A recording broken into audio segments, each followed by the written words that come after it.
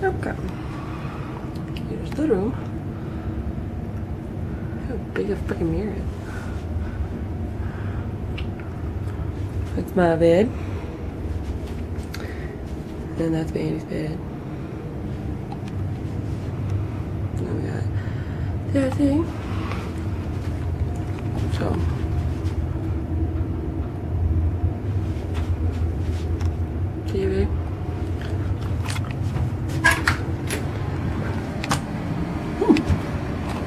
Not bad.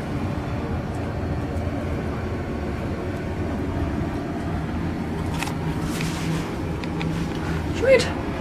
Bye.